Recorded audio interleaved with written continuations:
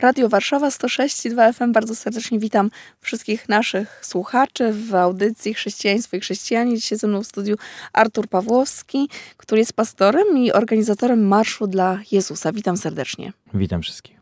To który marsz dla Jezusa? Ale to zależy, na którym kontynencie pytamy. W Warszawie. W Warszawie będzie to już trzeci. Marsz już się odbył już jest za nami. To był pierwszy marsz, w którym oprócz e, kościołów protestanckich brali również udział katolicy. Tak. Ale o tym w drugiej części naszej rozmowy. Natomiast Arturze, ja w tej chwili chciałabym Cię poprosić o opowiedzenie pokrótce swojej historii. Być może niektórzy z Państwa już ją słyszeli.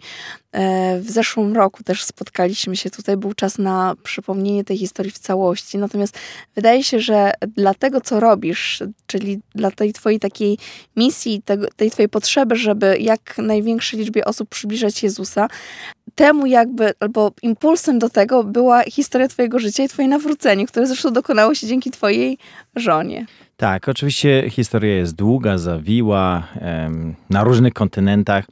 Moja droga z Bogiem zaczęła się w Polsce przez kółka oazowe. Miałem jakieś takie pragnienie wewnętrzne, żeby Bogu służyć. Byłem ministrantem, później gdzieś tam oratorem. E, wylądowałem w klasztorze pod patronatem świętego Jana Bosko. No, zawiła historia. W każdym razie miałem poważny kłopot z korupcją. Dużo jej widziałem w tamtym czasie w Polsce i mnie to bardzo odtrąciło. Odtrąciło mnie od Boga, odtrąciło mnie od religii e, całkowicie. I tak się wbiłem, wrzuciłem się w wir biznesu, świata biznesu, czyli im większe pieniądze, tym lepsze, nieważne jak w sumie, e, nieważne z kim. E, co prawda nie kradłem, nie oszukiwałem, ale współpracowałem z mafią, e, przemyt alkoholu, przemyt złota, przemyt sprzętu elektronicznego. Później była Grecja, budowanie domów, również korupcja. Zatrudniałem nielegalnych emigrantów, pracowałem i budowałem domy dla najbogatszych ludzi w Grecji, polityków, piosenkarzy. E, w parkach narodowych, więc e, łapówki, opłacanie policji. E, no i taka to była moja historia. Zawsze uważałem, że za pieniądze można kupić sobie wszystko, co człowiek sobie zapragnie. No i wchodził w te później alkohol, aby tą pustkę gdzieś tam zatopić, wypełnić. Nic mi nie dawało szczęścia. Pieniądze, no miałem talent, aby je robić. Robiłem je szybko. Zawsze się śmiałem, że E, pieniądze są po to, żeby je wydawać, a ja je i tak później sobie dodrukuję. E, to nie był problem. Czyli taką miałeś łatwość jak robienia pieniędzy, że nie masz rzeszu jak z drukarni. Tak jest. E, no, udawało mi się. Ciężko pracowałem, ale też opłacało mi się. W tym właśnie okresie tego może największego mojego butnego, aroganckiego, pysznego biznesu, E, poznałem swoją żonę. A czy zdawałeś sobie sprawę wtedy, że twoje życie jest nie takie, jakie być powinno? Wspomniałeś o alkoholu, prawda? O takim zalewaniu tej pustki. Natomiast czy miałeś poczucie, że robisz coś niewłaściwego, że nie jesteś na dobrej drodze? Nie, wtedy absolutnie nie. Uważałem, że Bóg i religia to jest jedna wielka mafia. Miałem takie powiedzenie, ponieważ pracowałem, współpracowałem z mafią, aby zatrudniać nielegalnych e, emigrantów, musiałem ich opłacać. Zawsze uważałem i to głośno wypowiadałem, że Kościół jest gorszy niż mafia, bo mafię opłacam raz i mam to z głowy, a Kościół ciągle chce więcej. E, więc gdzieś tam e, w moim sercu był bunt przeciwko Bogu, dlatego że uważałem, że Bóg, Biblia, religia i skorumpowani ludzie to jest to samo. E, wtedy byłem w błędzie, ale o tym nie wiedziałem. E, więc za bardzo nie wiedziałem, jak e, sobie poradzić z tym problemem, który miałem, bo dla mnie tak wyglądało życie biznesmena, czyli szybkie pieniądze, jak największe. Uważałem, że jestem dobry w tym, co robię i robiłem to, co lubiłem i w czym byłem dobry, tak wtedy uważałem. Poznałem swoją żonę, historia naszego Poznania w ogóle jest e, śmieszna w tej chwili, dlatego że ona przyjechała odwiedzić swoją koleżankę w pracy, która pracowała w mieście, w którym ja budowałem domy. Moja mama była zarządcą tego, tej, tej, tej dyskoteki takiej, to była taka restauracja, e, menadżerką była. No i pewnego wieczoru ja się tam często pojawiałem, aby pobawić się, wypić, zatańczyć.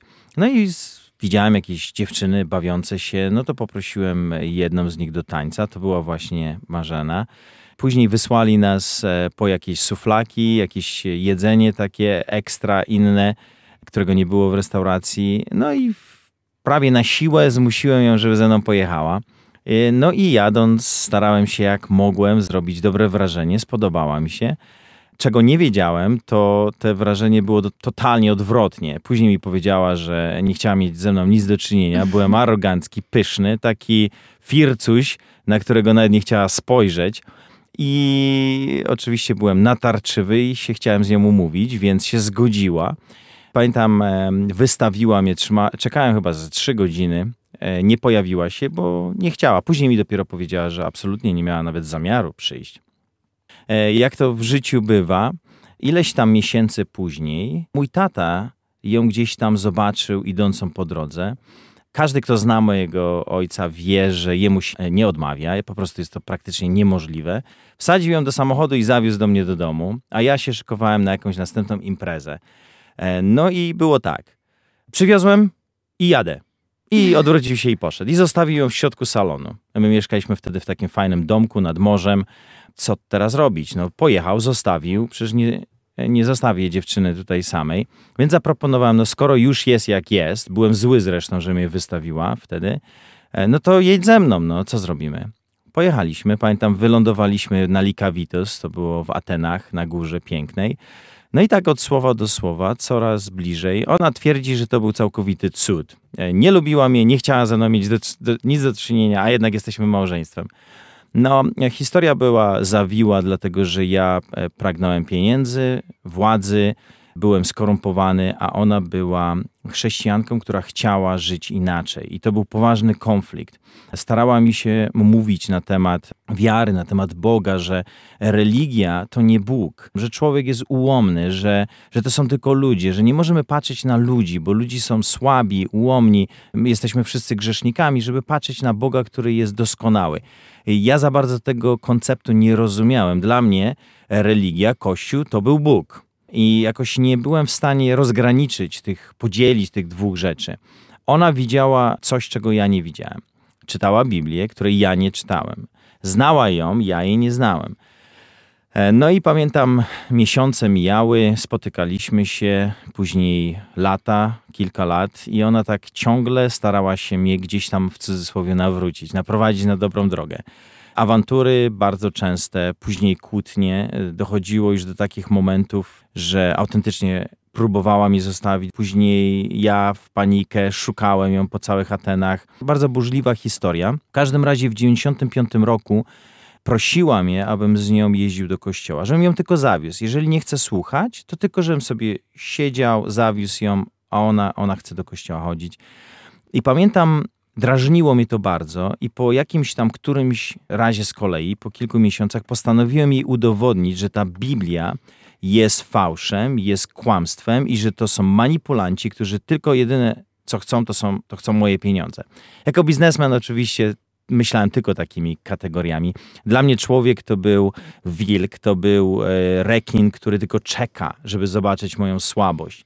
Uważałem, że świat jest pełny właśnie, to jest taka wielka woda pełna rekinów i musisz na siebie uważać. Jak poczują trochę krwi, to koniec, nogę stracisz albo życie. A ona zawsze starała się widzieć w człowieku to dobro. Mimo, że człowiek mógł być zły, to ona zawsze gdzieś tam wyciągała tą, tą dobrą cechę. Na przykład ktoś tam wypił za dużo. E, ja mówię, zobacz jaki alkoholik, sam też piłem. A propos. A ona mówiła, ale zobacz, jak się ładnie odzywa do żony, jaki jest grzeczny albo jaki pracowity. Zawsze starała się wyciągnąć to dobro zobaczyć to dobro w tym człowieku, a ja na odwrót, to zło. Ale ujęła cię tym pewnie, prawda? Bo to był Dokładnie. taki kontrast w stosunku do ciebie. Dokładnie tak się stało. Nie byłem w stanie zrozumieć, jak druga osoba może patrzeć na świat takimi pięknymi oczami. Jak może widzieć w ludziach dobro, gdzie ja widzę tylko zło. I pamiętam na jednym z nabożeństw w końcu zezłościłem się już tak bardzo i tak strasznie chciałem jej udowodnić, że to są e, oszuści, że postanowiłem słuchać kazań i udowodnić, że oni chcą tylko kasę. I pamiętam pierwsze kazanie, to było kazanie o miłości bezkondycyjnej.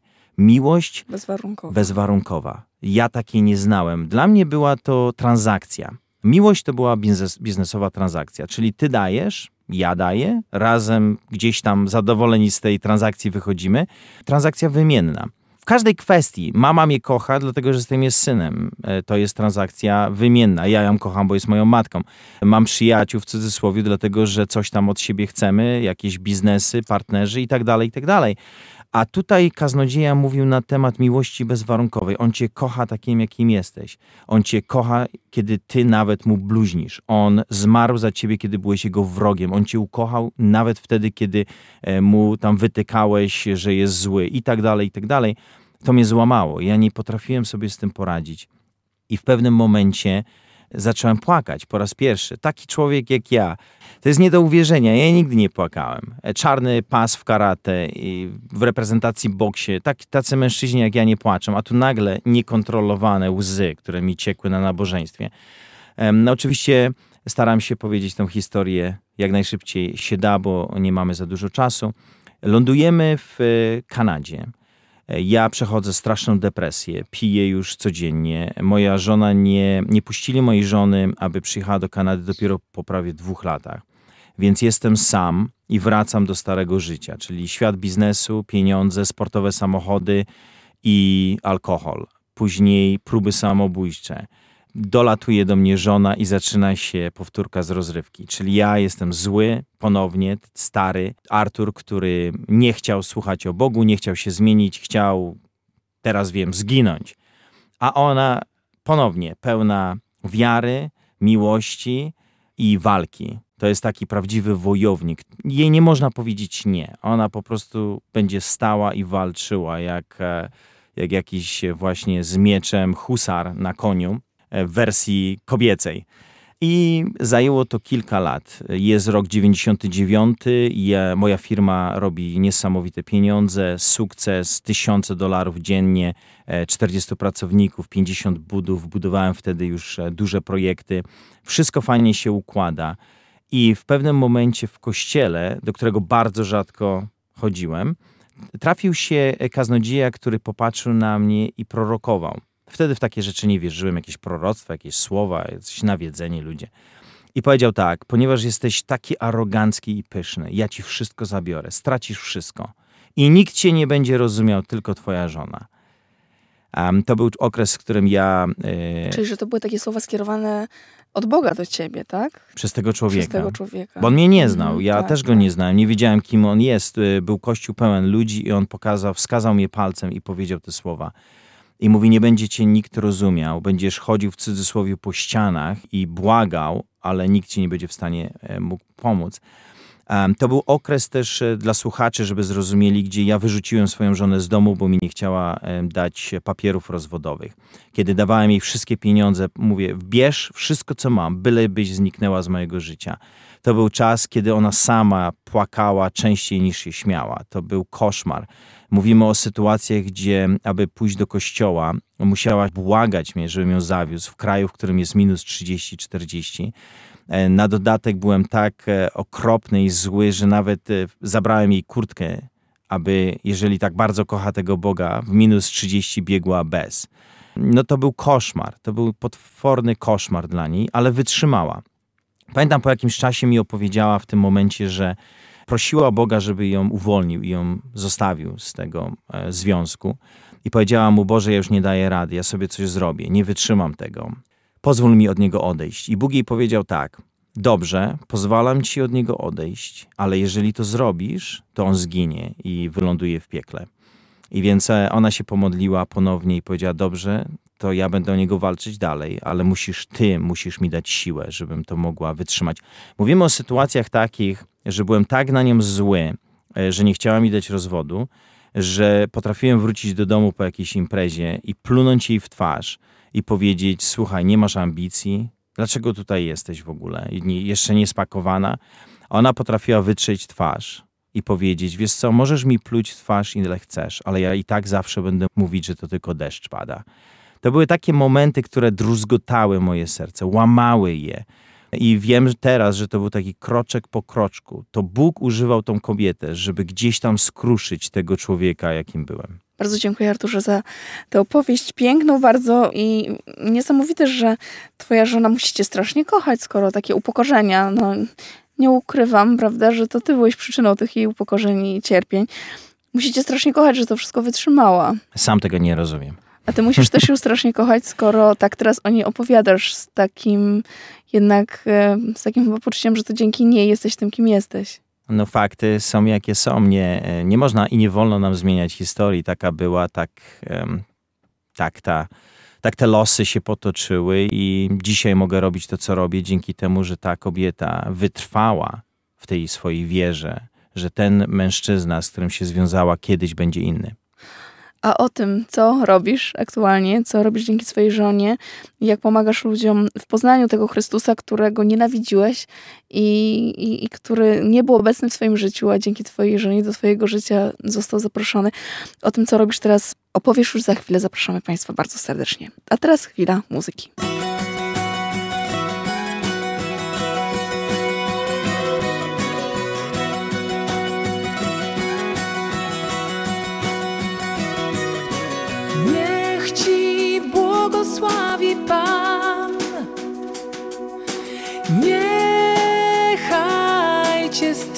Strzeże, niech rozjaśni oblicze swe nad Tobą i niech miłości w Ci będzie. Niech Ci błogosławi Pan.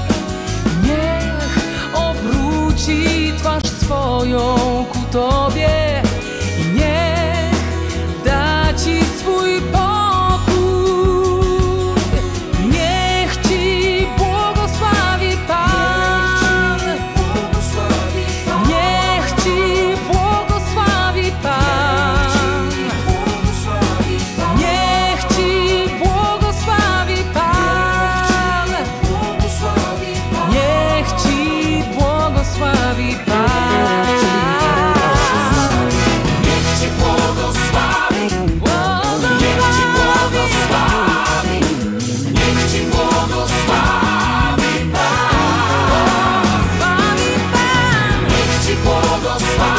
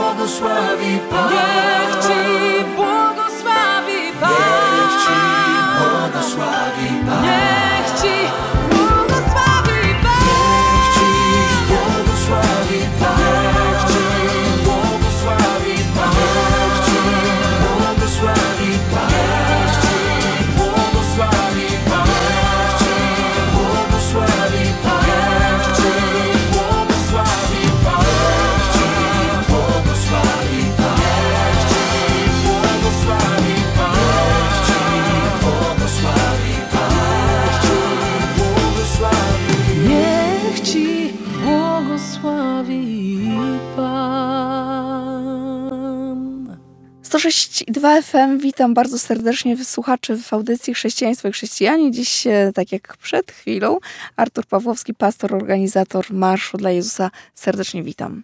Witam słuchaczy. Arturze, pewnie Twojej historii nie można by też do końca zrozumieć bez takiego jednego ważnego, bardzo kluczowego e, momentu w Twoim życiu, związanego z Twoim synem. Tak, e, po tych burzliwych losach, które mieliśmy ze swoją żoną, bardzo się do niej zbliżyłem, kiedy faktycznie to proroctwo się wypełniło e, i straciłem wszystkie swoje pieniądze, straciłem firmę. I był jeszcze jeden kluczowy moment w moim nawróceniu, kiedy mój syn urodził się w moje urodziny, tylko że urodził się z sercem po drugiej stronie i ze zmiażdżonymi płucami. Płuco jedno, płuco w ogóle nie było, e, nie było widoczne, nie było go. Kiedy otworzyli jego ciało, okazało się, że nawet nie ma śladu po tym, że tam było płuco.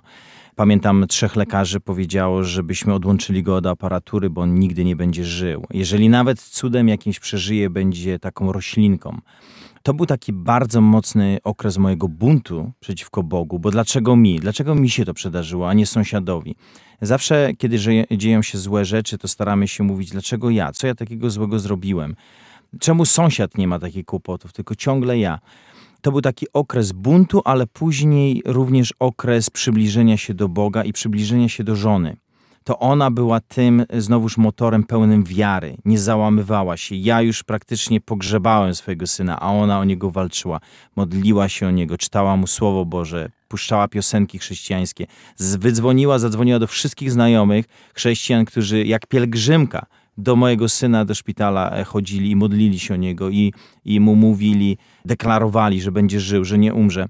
Zawiła historia. W każdym razie po kilku dniach lekarze e, spotkali się ze mną i powiedzieli, że nie są w stanie wytłumaczyć, co się stało, ale syn, dziecko, które nie powinno żyć, żyje, samo oddycha, walczyło z aparaturą, musieli wyciągnąć te wszystkie rurki, respirator i co jest medycznie niemożliwe do wytłumaczenia, płuco samo zaczęło się rozrastać.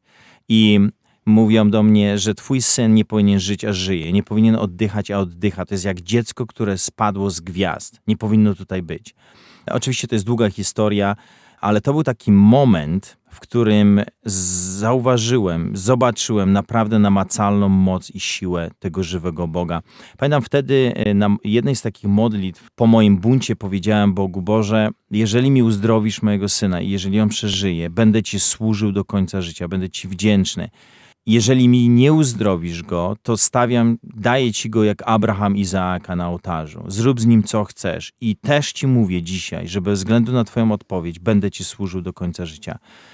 Po to tej jest taki wielki gest zaufania jednak Panu Bogu, prawda? To, to myślę, że to był moment złamania mnie. Mhm. To był moment totalnego złamania. Straciłem swoje pieniądze, straciłem prestiż, straciłem biuro, straciłem wszystko. Była tylko żona, wiara i Bóg i nic więcej. To był okres, w którym Bóg mnie złamał. Od tego momentu jeszcze zajęło mi 5 lat. Jeszcze 5 lat. Ciężko było złamać mój charakter. I po pięciu latach dopiero wyszedłem z biura, ze swojego ofisu i nigdy do niego nie wróciłem. Porzuciłem świat biznesu, straciłem miliony dolarów, straciłem ziemię, domy.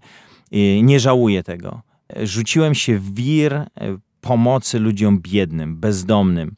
Zacząłem wychodzić na ulicę z kościołem, z różnymi ludźmi którzy chcieli pomóc tym biednym i założyliśmy coś takiego, co się nazywa teraz potocznie Kościół uliczny, czyli Kościół dla ludzi biednych. Karmimy w tej chwili ponad 200 tysięcy ludzi na ulicach Calgary. Założyliśmy Kościół uliczny w Warszawie, w kilku miejscach. Jest w Szczecinie, w Poznaniu, w Krakowie. Mówimy teraz o eksplozji Bożej miłości Zaangażowani są ludzie z różnych denominacji. Jedyne, co nas interesuje, zawsze ludziom zadaję pytanie, czy kochasz Jezusa i czy kochasz tych ludzi? Jeżeli tak, to you're more than qualified, czyli masz więcej niż potrzeba, aby tym ludziom usługiwać. Zasada marszu dla Jezusa jest taka sama.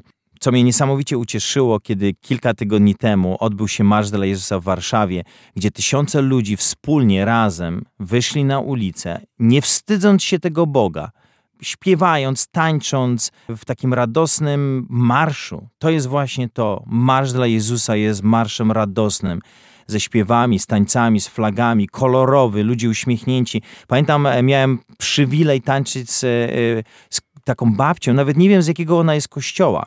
I zapytałem, ile pani ma lat? Ona odpowiedziała 89 i tańczę i mam siłę, dlatego że Jezus mnie kocha.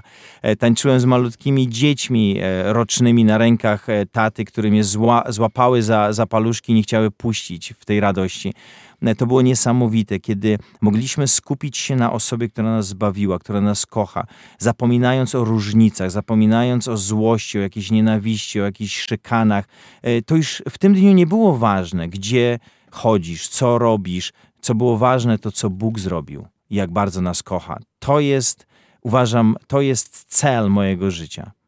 No właśnie, to jest niesamowite w tym marszu, że zaproszeni są wszyscy. W tym roku, tak jak powiedziałam na początku naszej audycji, pierwszy raz szli katolicy. No i to jest właśnie piękne, żebyśmy dostrzegali w tych naszych drogach, którymi Pan Bóg nas prowadzi, to co nas łączy, a nie to, nas, co nas dzieli, bo wiadomo, że się różnimy między sobą. Ludzie żyjący na całym świecie różnią się i kulturą, i religią, i kolorem skóry, i tym, w jaki sposób postrzegają swoje życie, w jaki sposób funkcjonują, jak mieszkają, co jedzą. No ale właśnie najważniejsze jest to, że możemy się spotkać i przejść ponad tymi wszystkimi różnicami, uznając, że Jezus Chrystus jest naszym Panem i Zbawicielem. Dokładnie, I o to właśnie chodzi. Dokładnie, dokładnie robił to Jezus. Jezus um, mówił prawdę, nigdy nie szedł na kompromis. E, czy to się ludziom podobało, czy nie, zawsze mówił prawdę, taka jaka ona była, ale nie odrzucał nikogo. Każdego przyjmował.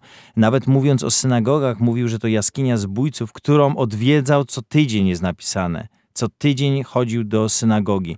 E, przebywał z prostytutkami, ale również przebywał z ludźmi religijnymi, z faryzeuszami, których później ganił. Jego miłość jest ponadrasowa, ponadczasowa, niezniszczalna i taka, która mnie zbawiła, czyli bez um, kondycyjna. Bezwarunkowa. Bezwarunkowa. Bóg Ciebie kocha i chce, abyś mu służył, abyś z nim był i abyś z nim spędził wieczność. To piękne przesłanie. Ale zobacz, Arturze, jakie to jest ciekawe, że my właśnie tutaj możemy siedzieć w studiu i rozmawiać, katoliczka i protestant. Nie ma znaczenia w tym sensie, tak, w tej naszej rozmowie, do jakiego kościoła chodzimy. Najważniejsze, że Jezus jest dla nas najważniejszy i że chcemy żyć według Jego nauki. I gdyby, gdybyśmy wszyscy tak patrzyli na siebie nawzajem, bez uprzedzeń, z szacunkiem, to myślę, że świat byłby lepszy i życie byłoby piękniejsze. I chyba tego na koniec tego naszego cyklu chrześcijaństwo i chrześcijanie możemy sobie wszyscy życzyć, żebyśmy byli coraz bardziej chrześcijanami, coraz bardziej uczniami Chrystusa. Miłość Jezusowa łączy, a nie dzieli. Tak jest. Dziękuję bardzo.